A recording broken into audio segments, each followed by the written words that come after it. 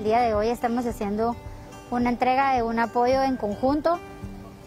con la entidad Finca Valparaíso y eh, pues muchas personas de la ciudad de Guatemala. Se les va a estar entregando a los niños, son 337 mochilas de trabajo que tienen pues sus útiles para que ellos puedan estar trabajando en casa y adicionalmente llevan folletos y guías de trabajo pues que se elaboraron con apoyo de, de, maestros, de psicopedagogos y la intención pues es motivarlos a que independientemente que estén en casa, ellos tienen que seguir eh, educándose, aprendiendo. La parte de útiles pues es algo que se hizo directamente con la entidad Productos Valparaíso S.A., pero también recibimos el apoyo de gente anónima que donó monetariamente para sacar las impresiones, comprar pues ahí sí que folders para poder entregar los trabajos